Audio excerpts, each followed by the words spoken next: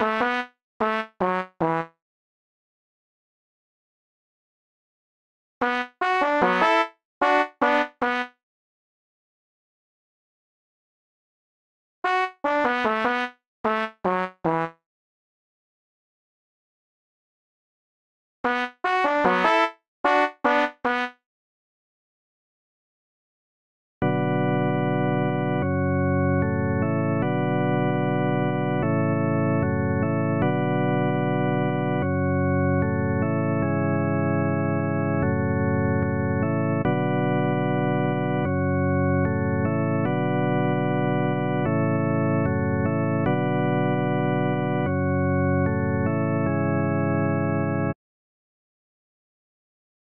Hello,